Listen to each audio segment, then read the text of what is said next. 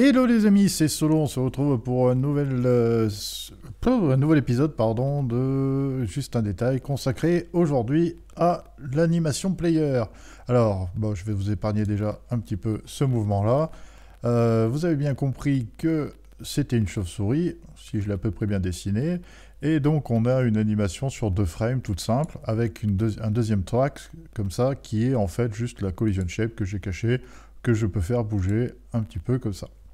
Donc là déjà, euh, petite chose qu'on peut remarquer, c'est là si vous, si vous remarquez en fait la position du collision shape est quasiment instant, elle change vraiment ici.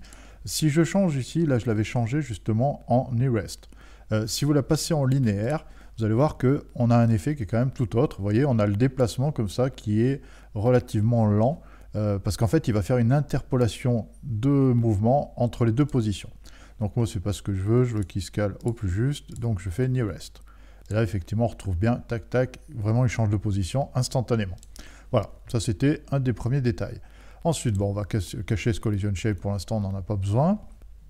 Ce que j'ai fait aussi, j'ai rajouté, en fait, euh, une deuxième animation, qui, elle, n'a pas du tout le même timing, qui est en fait un effet de whoosh. Euh, je, voudrais, en fait, que ça, ça fasse un petit peu ça, quoi, à chaque fois, euh, chaque fois qu'il y a un battement d'aile. Donc là, en fait, il va falloir que je cale cette animation-là sur un battement d'aile. Donc, on va en fait insérer une deuxième animation dans la première animation. C'est-à-dire je vais me caler ici, au niveau du, de ce battement d'aile-là, et je vais lui dire, bah tiens, rajoute-moi, au niveau de Add Track, rajoute-moi une animation. Tac. Et là, donc, je vais lui dire, c'est sur animation 2 que je veux jouer. C'est lui qui va être en fait le, le réceptacle de, de ce que je veux faire. Ok. Donc là, il m'a bien rajouté une trax, comme ça, qui est anime 2. Pour l'instant, j'ai rien dedans. Ce que je vais faire, je vais faire un clic droit ici, insert key. Et maintenant, j'ai juste à cliquer dessus et dire, voilà, au niveau de l'animation, qu'est-ce que tu veux faire? Bon, en l'occurrence, j'en ai qu'une, c'est qui s'appelle Whoosh Effect. Clac. Et ce qui fait que maintenant, automatiquement, mon animation, ma deuxième animation, est calée dans ma première animation. Alors, euh, au niveau du script du personnage, enfin de la chauve-souris, de Bat, euh, j'ai fait une fonction très simple. Euh, on va agrandir un petit peu ça maintenant, tac. ça, du coup, je ne l'ai pas enlevé, il faudrait que je le remette. Et là aussi, c'est pareil, je vous le montrerai après. Bon, par défaut, elle a une max speed, euh, mais par contre, je la fais aussi, dans le ready, je la fais, je évoluer de 45 à 78, même, euh, on pourrait faire n'importe quoi. Euh, il démarre soit à gauche, soit à droite. Quand il est contre un mur, il se retourne. du coup, il inverse sa vélocité, il inverse ses sprites, il inverse son whoosh, son, sprite aussi de whoosh. Et ensuite, il fait le move and slide, donc très classique. Quand on lance un petit peu ça, bah, on a tout simplement un effet tout bête. Et maintenant, vous voyez, j'ai bien mon deuxième whoosh, enfin mon, ma deuxième animation whoosh, qui est calée vraiment sur la première. Elle se fait bien à chaque fois sur le bas de mon euh, bien comme je le voulais.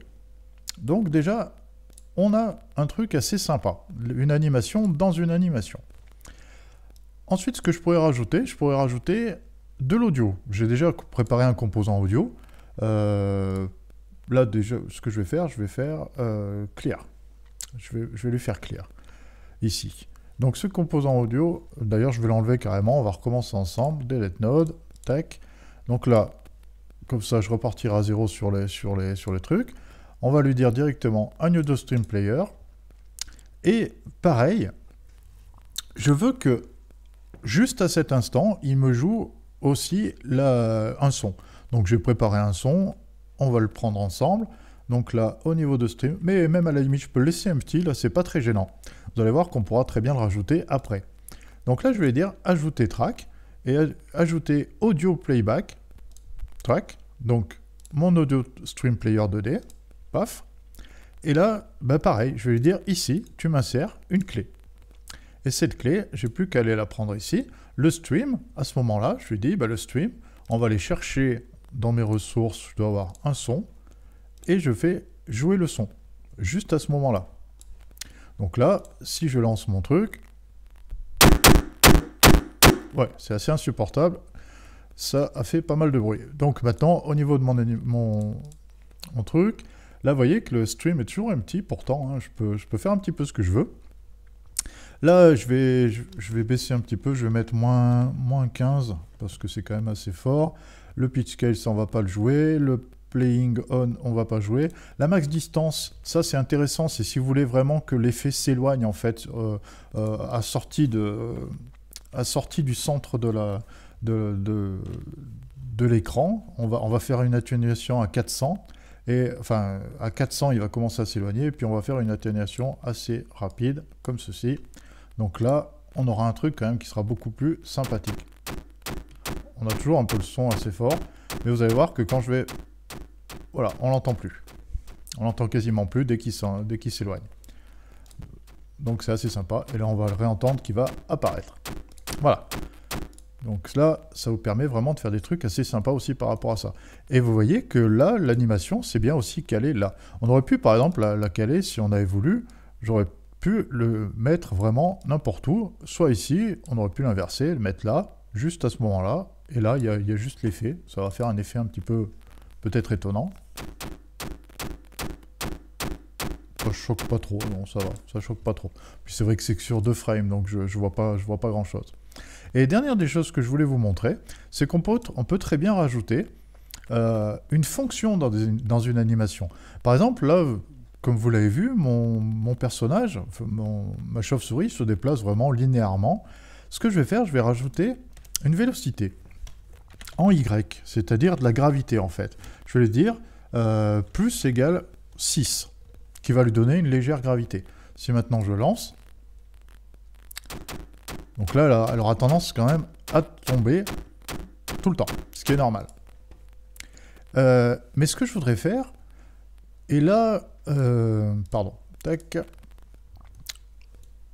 c'est pareil, je veux me caler en fait sur un battement d'aile pour qu'en fait elle fasse un léger saut et qui, permettent quand même de la maintenir constamment en l'air, donc toutes les 0,2 secondes, elle va faire un espèce de saut qui va la maintenir en l'air, et dans lequel je vais rajouter même un petit random. Donc je vais faire une petite fonction pour ça. Je vais ajouter une fonction fly, fonction fly, tac, deux points. Et là, je vais lui dire, ben, y, c'est juste un saut, un classique, est égal à moins, on va dire une fonction en négatif pour qu'il monte, en fait. Donc c'est un rand range, je vais dire un range de 40 à 100, par exemple. Fais-moi un saut entre 40 et 100. Donc ça paraît gros hein, par rapport à la vélocité que je lui ai mis, mais là il faut, faut imaginer que ce, plus 6 est effectué quasiment, enfin est effectué 60 euh, fois par seconde. Donc en fait, j'ai plutôt une vélocité de 360. Et là, je fais qu'un saut de 40, euh, entre 40 et 60, 40 euh, et 100. Euh, cette fonction fly, je ne vais pas l'invoquer directement ici. Parce que là, je ne saurais pas réellement comment me caler dans mon process. Mon process, lui, est effectué 60 fois par seconde.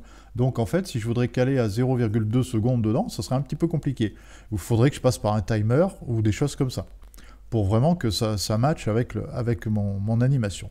Par contre, cette animation fly, qui est toute bête, là, qui, contient juste une ligne, mais bon, elle existe, c'est une, une fonction que je pourrais invoquer.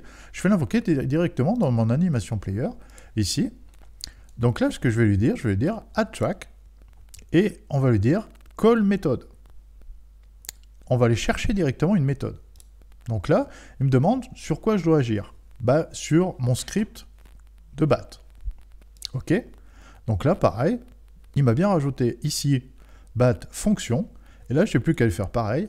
Insert key et là, il va me proposer toutes les méthodes possibles, donc soit d'un kinematic body, soit d'un physique body, d'un collision shape, tout ce que comporte en fait mon objet, d'un nœud de base, etc., etc. On peut avoir pas mal de composants. Et moi, ce qui m'intéresse, c'est la fonction euh, que j'ai pas parce que j'ai pas enregistré. Donc là, je vais enregistrer, CTRL SAVE, tac.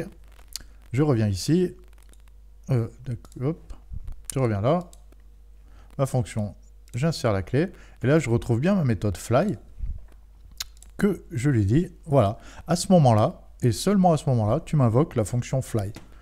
Et maintenant, si on lance, vous allez voir que le comportement, maintenant, on a un comportement qui paraît quand même... Je vais quand même baisser un peu plus le son, là, au moins pour moi peut-être. Tac, baisser le son ici. Je sais pas si vous, ça va changer, ça va peut-être être le même pour vous. Mais voilà, on a un effet quand même qui est quand même plus agréable, et en plus c'est un petit peu random. Toujours pareil, j'aime bien le random, moi, donc euh, on a rajouté un espèce d'effet où on a l'impression que notre batte, elle, sautille un peu sur place. Elle a un effet où elle vole un peu difficilement. Elle monte ou elle descend un petit peu au gré de nos, enfin de ses envies. Voilà. Bon, elle nous suit pas, hein, mais bon, au moins, elle saute un peu, ça donne un effet. Bon, peut-être 100, c'est peut-être trop... J'aurais dû mettre un petit peu plus, je pense, parce que là, j'ai quand même tendance à voir qu'elle tombe. On va mettre 120.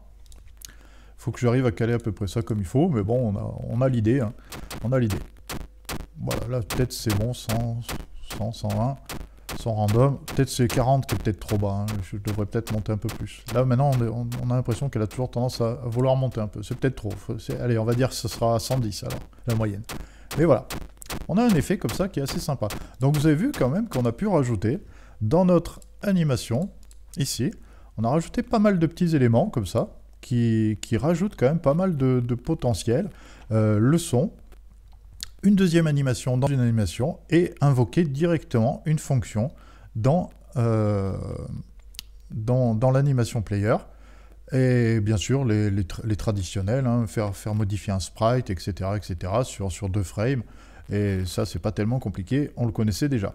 Mais voilà, euh, des petites choses intéressantes à savoir quand on peut construire comme ça un personnage, ou n'importe quoi d'ailleurs. Sur ce les amis, je vous dis à bientôt pour de nouvelles aventures. Allez, ciao ciao